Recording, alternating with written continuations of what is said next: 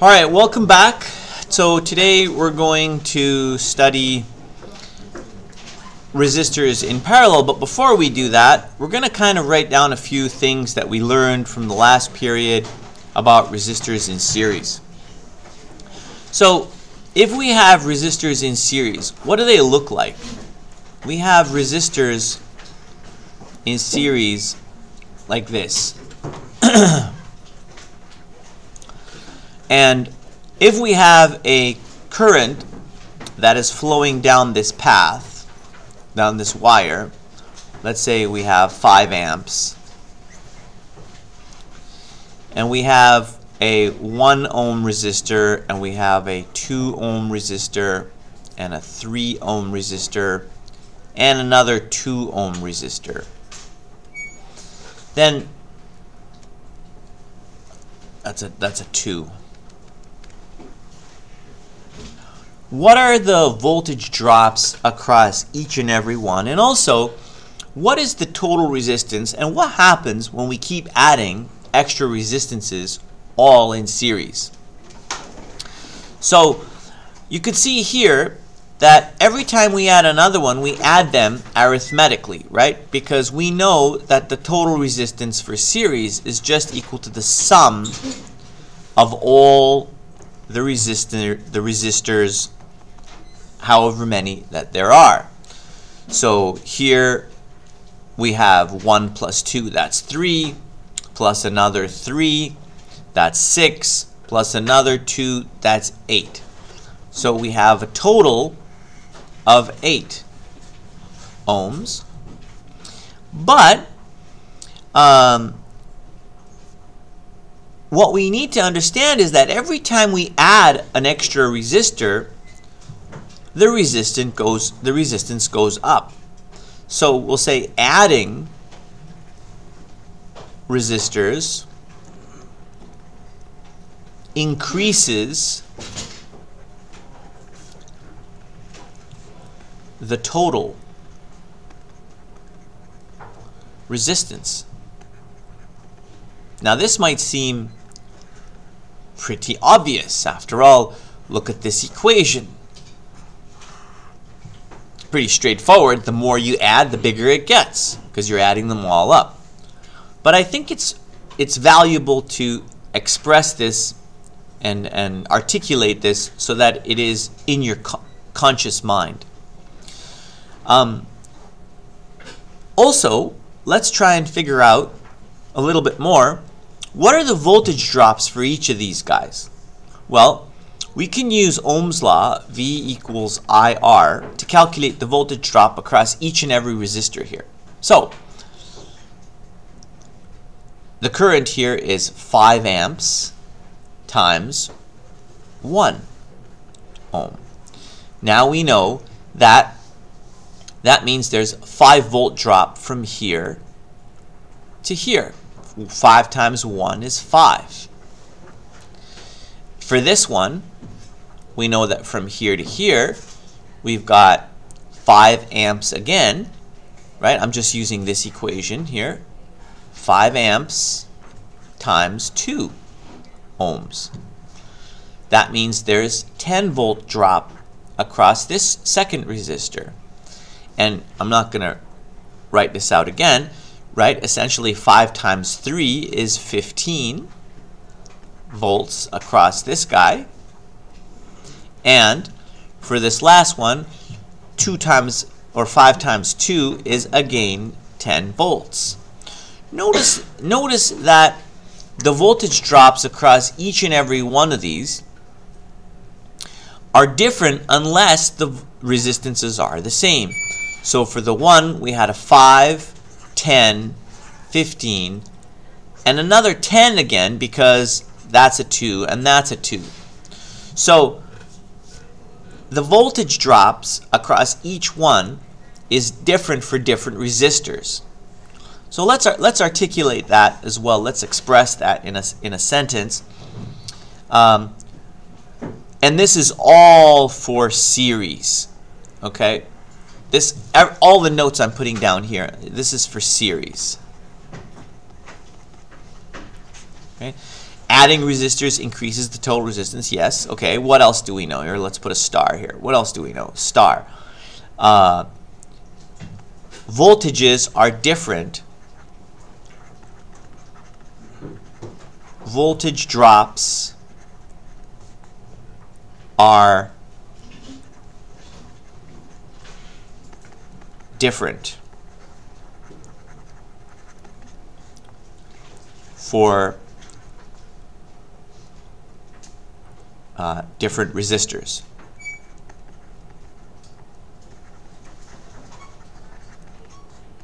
Now, this might seem, again, like a very obvious thing to state, but I still think it's worth stating. Because you're going to see later that we can use some of these concepts to analyze circuits and make things much easier. There is one more um, kind of note that I want to explicitly express, like the alliteration, about these guys, and that is that this 5 amps of current here is traveling through every single resistor. It has nowhere to go except through each and every resistor. So think you could think of this, sometimes I like to use the analogy of water. If the 5 amps is the amount of water flowing through this pipe, then you can't destroy or create the water just like you can't destroy or create the current. That means it has to flow through each and every resistor as it is flowing down through the pipe. So let's express that here and say that the current through each resistor is the same.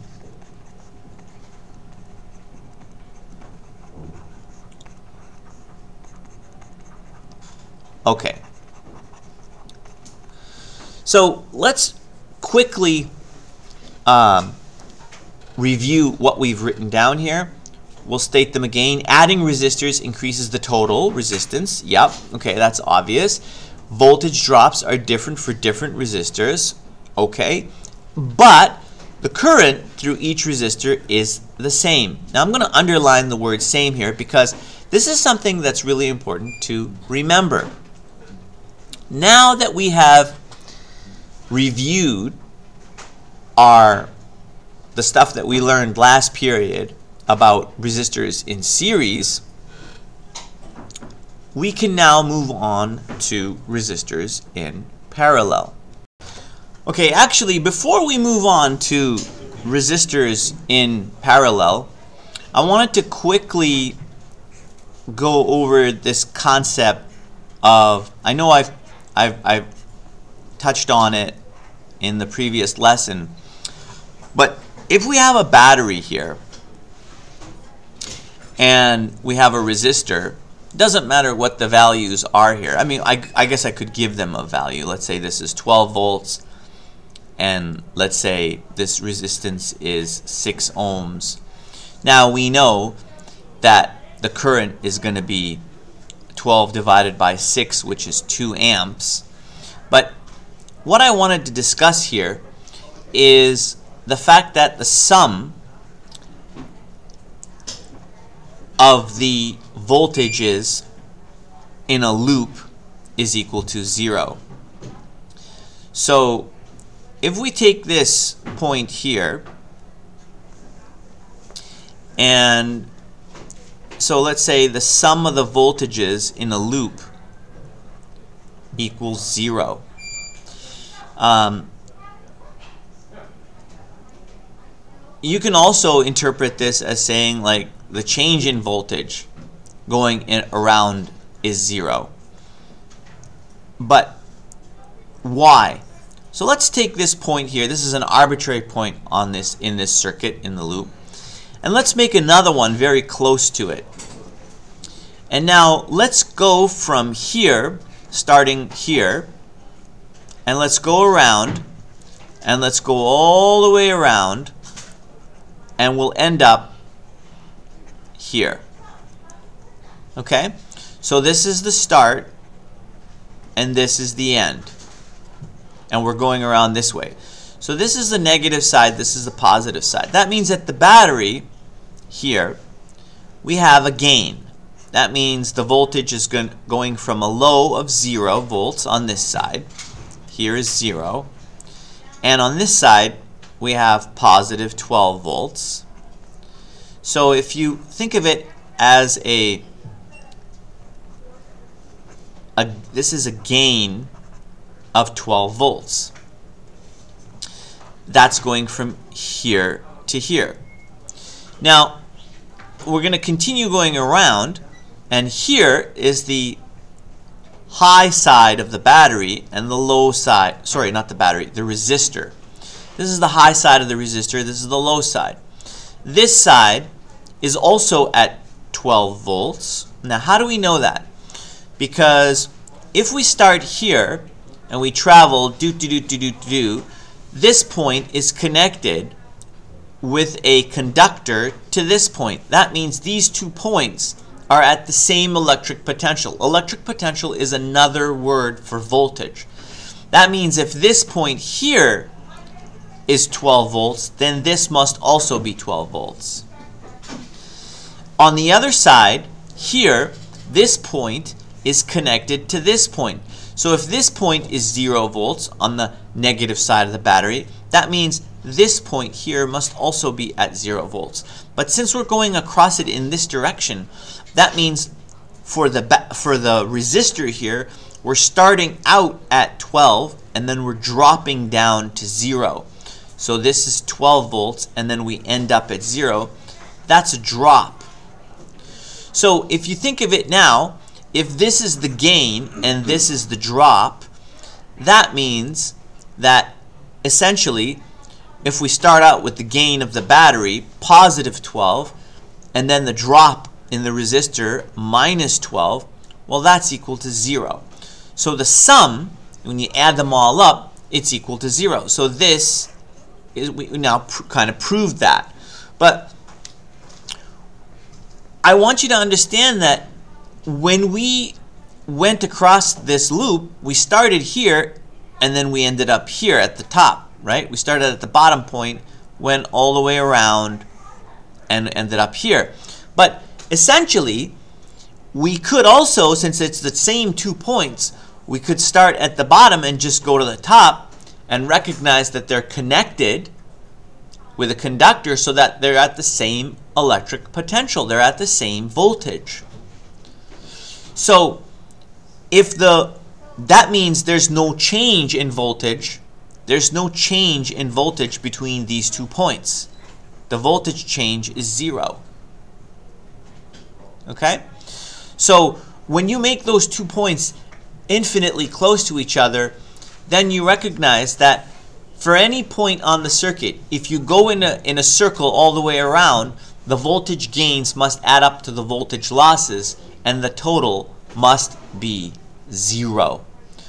Okay, so let's express that um, in a sentence here.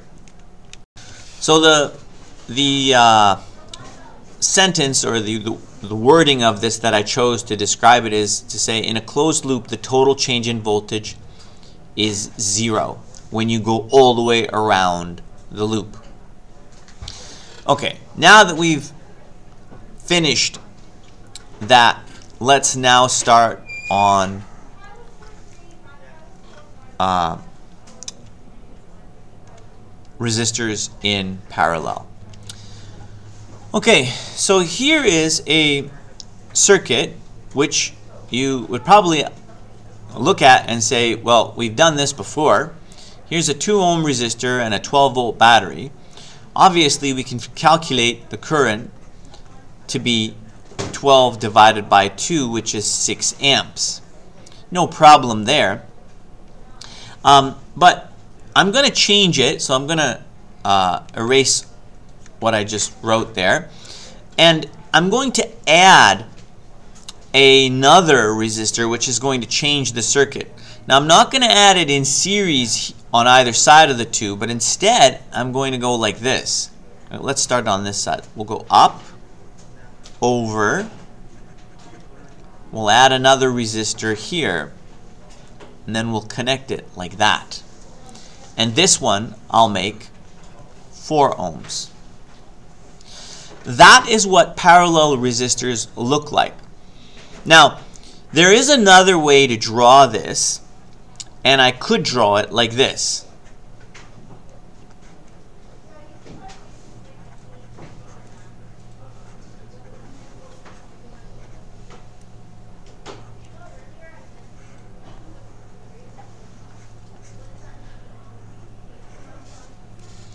So these two circuits, so here's my 4 and, and uh, here's my 2 and my 12 volt battery. These two circuits are identical. There's no difference between them. It's just the way that I've expressed them. And I, I want you to be aware that they are the same and that you can draw them either way and I want you to recognize that. Okay? Um, for that matter, I could even uh, draw in in like another way, and and they'd all be the same. Okay, I changed my mind. I'm not going to draw it a third way. I think this is sufficient. Um, what we need to understand now is what is the current that is flowing here And let's, it doesn't matter which one we, we look at it, they're the same, but, but I can use analogies here. But what we need to figure out is what's the current, what's the total current, what current is flowing through each resistor, and what is the voltage across each resistor. Now, before we continue here, I want to remind you about the concept of where the voltages, how we figured out the voltage when we follow a path. So let's take this point right here. We know that this voltage here is 12 volts, and we know that this voltage here, let's say, is 0 volts. Okay, because there's a there's a gain of 12 in the battery. Now, if we follow this conductor from here do do do. Let's let look at my pen here as I travel. Do do do do do do all the way, and we go up here to this junction, and this is an important point. This junction here, the current splits. Some of it goes to the two, and some of it goes to the four. Now, let's pretend for a minute that. Oh, actually, let's let's let's leave that for a second. We'll come back to that concept. We know that the 2 offers less resistance than the 4. So just like water flowing down a hill, electricity likes to flow in the easiest way possible. And the 2 ohms offers less resistance than the 4, so you would think that more of the current would go through the smaller resistor because it's easier to travel through it how much. And also, we don't know what the total is here. We're going to get there in a minute. But what I want to show you here is that this voltage here at 12 is going to be the same voltage here at 12 volts. Why? Because these two points are connected by a conductor. Therefore, they must be at the same electric potential and I'll, I'll, I'll put, I'll make the dots a little brighter. This point and this point. Okay? In addition, that first 12, and you can get to this point here, is also at 12. Why? Because you can travel along that direction. So if I just change colors for a minute, and what I mean is I can go from here to here without passing through a resistor and I can go from here to here without passing through a resistor. So therefore those two other points must be at the same electric potential as the right hand side of the battery. Let me erase those two lines now. Now let's do the same thing for the other side.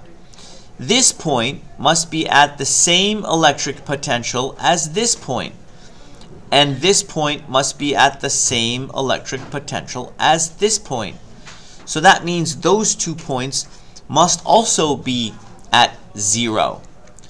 So that means this point is at zero, and that means this point is at zero. Now you see, I can now determine the voltage across each and every resistor. It's the same. It's 12 volts. So this is actually a characteristic that we can write down as a general rule for all resistors in parallel. And let's write it down here. Resistors in parallel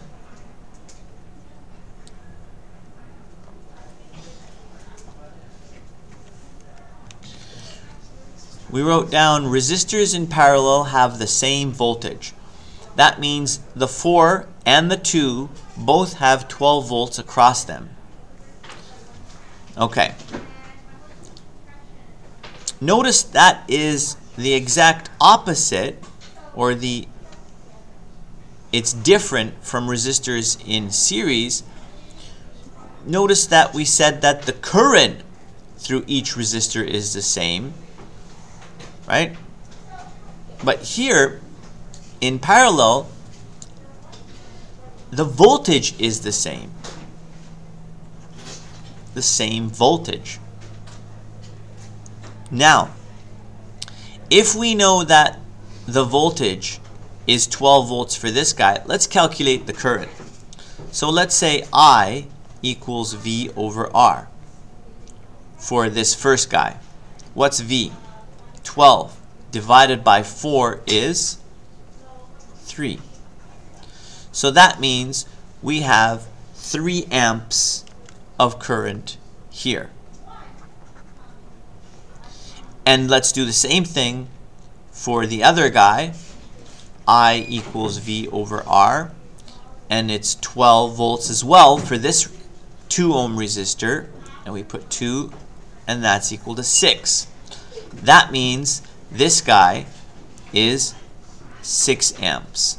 Now, let's go back to this junction here, right here. Now we know that we have current flowing into this junction. Okay. Now, if you if you look at this junction from this side, we have here 3 amps and over here we have 6 amps. Notice we have more current going through the smaller resistor, which makes sense. But also that at this junction here, you have 3 plus 6 coming out. That's a total of 9 amps of current coming out of this junction. One of Kirchhoff's rules says that whatever current goes into a junction must come out.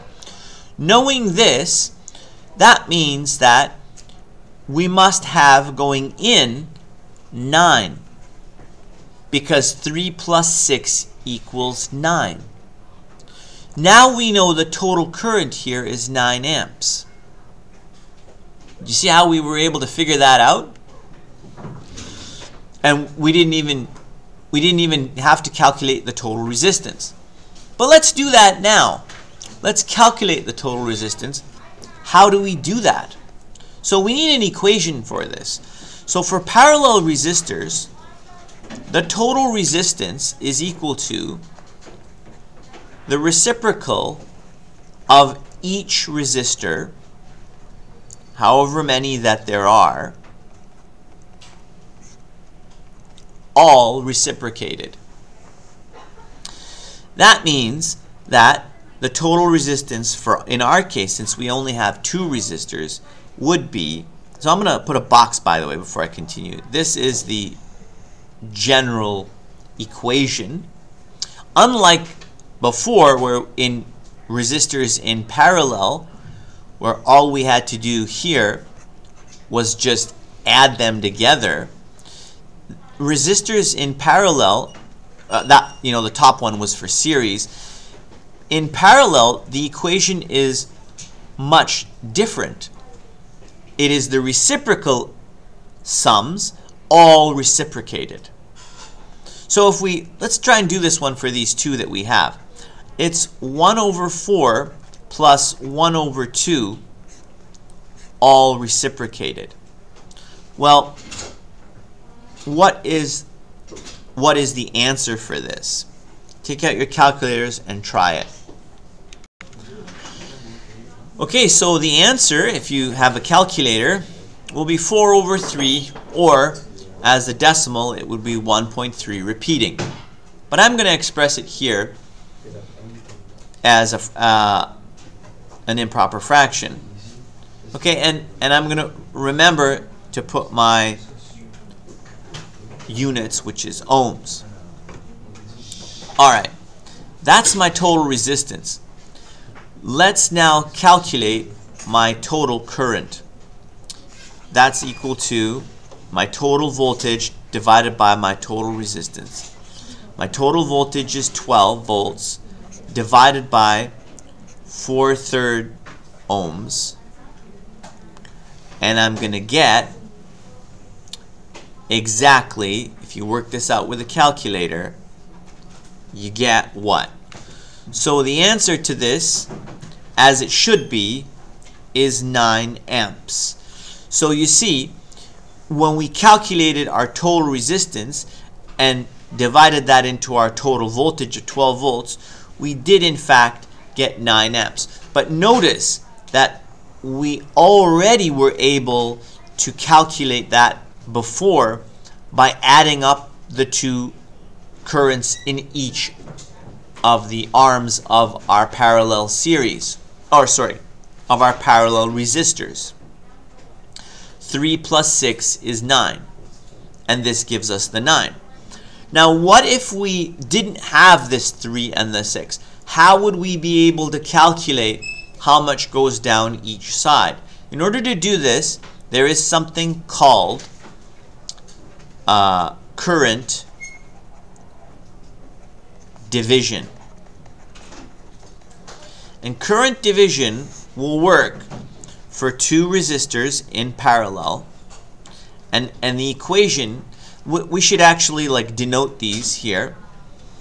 Um, actually, let me kind of move it over this way. Okay, and then I can do it here. Okay, so that way you can see everything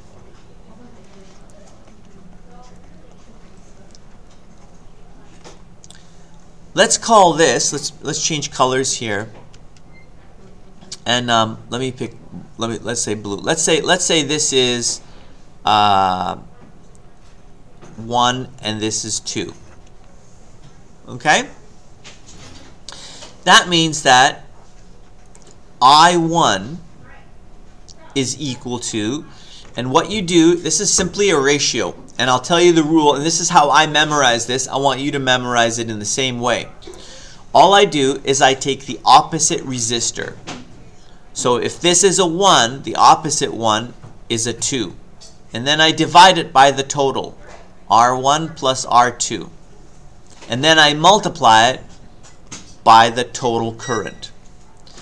And the equation for the other guy, I2, is the same except you do the same rule. You take the opposite resistor to the 2, which is the 1, divide it by the total, R1 plus R2, and multiply it by the total current.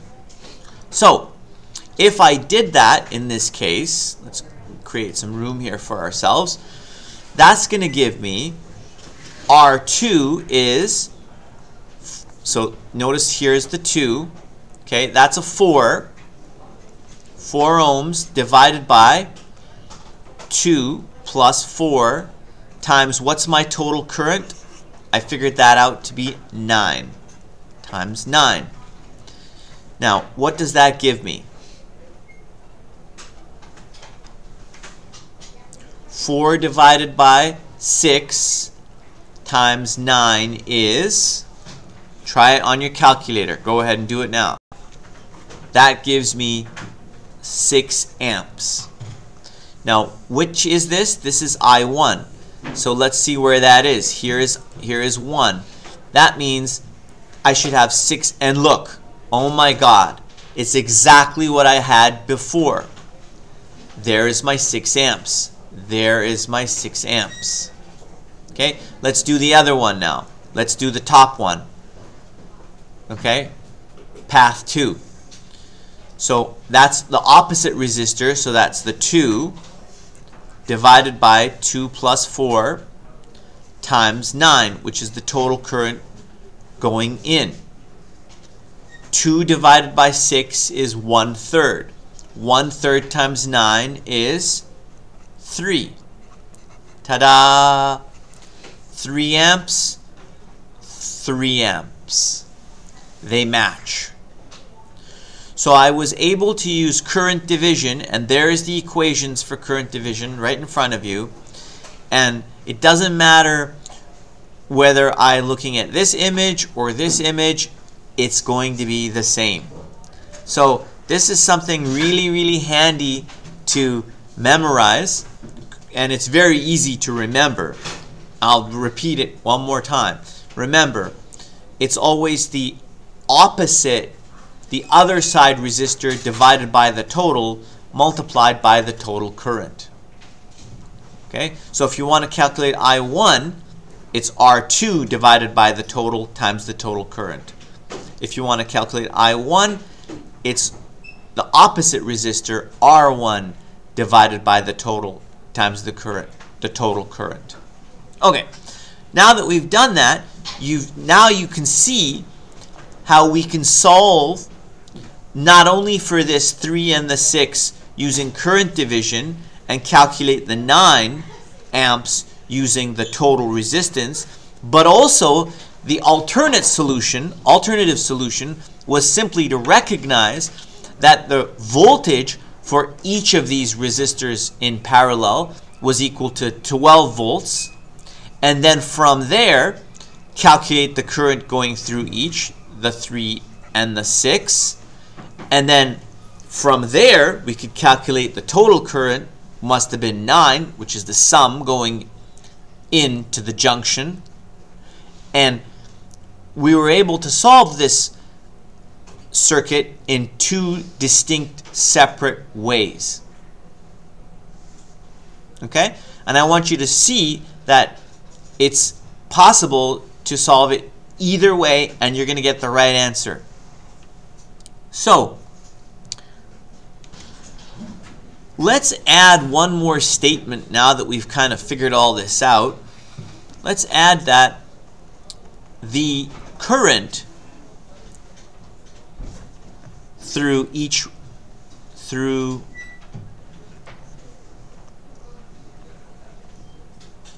each resistor is different.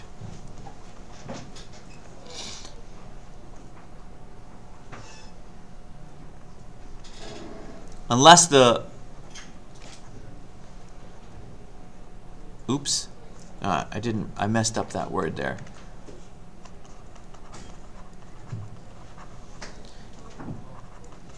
Unless of course the resistors are equal. In other words if this was a 2 and this was a 2 then they would have the same current flowing through them. But the current through each different resistor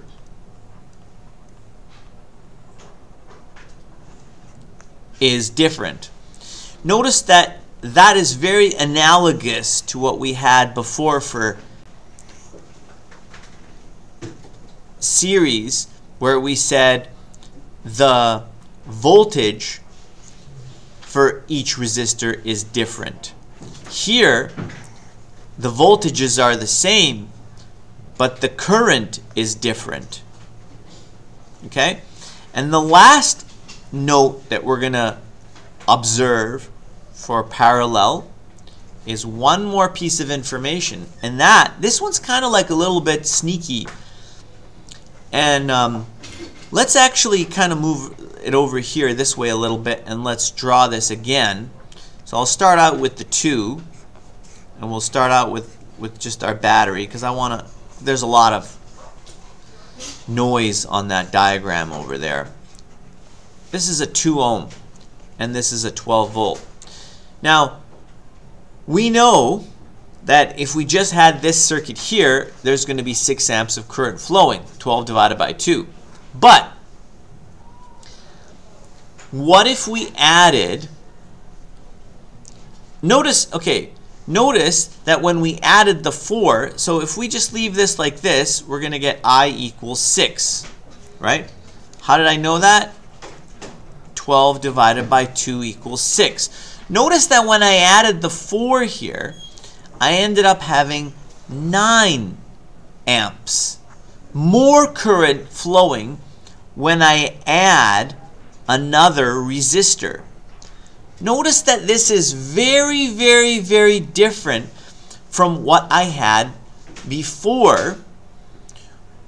When you add, so when you go back to resistors in uh, here's a 2 and here's a 4 when you add more resistors you you're not so what you're doing is you're actually reducing the the current. So like for example in this situation if I add the, the 4 in series now what's the total resistance? It's 6 so now my total current is going to be 12 divided by 6, which is going to give me 2 amps. Well, you notice now that this 2 is less than, well, th this isn't actually 6 anymore. This is a 9. So let's kind of cross this out. And we have to recognize that this is now, we've, we've calculated it over here, right? This was 9. So when we add the 4 here, this now, this current is now 9 amps. Notice that 2 is less than 9, but more importantly, if we go back to the original drawing, so if I draw the original here, You'll see what my point is now. I think it'll be clear. So we can add the 4 in two different ways. We can add the 4 in series here. Oops, misspelled that.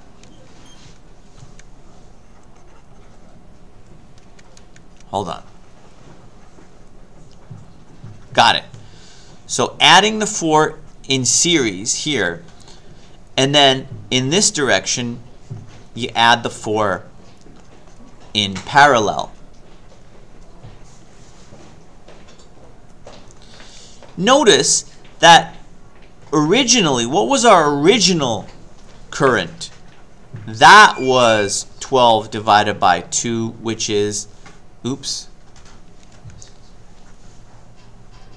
which is 6 amps. That was our original. Notice that adding it in series decreases, right? So our current here is reduced. Current goes down.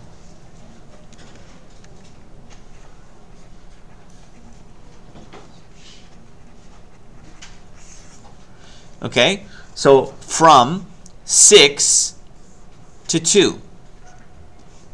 On the other hand, when we added the 4 in parallel, our current goes up.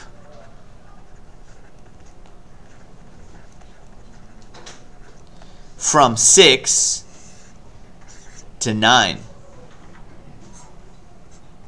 Okay? So here current goes up, on the left-hand side, current goes down. So this is important because what we need to understand here is that when we add the 4 in series, we're actually creating more of a barrier to the current. But when we add resistors in parallel, we're actually creating yet another path for the current to travel down. In other words, initially it was all going through the 2, but now some of it can go through the 4. And if we added yet another resistor,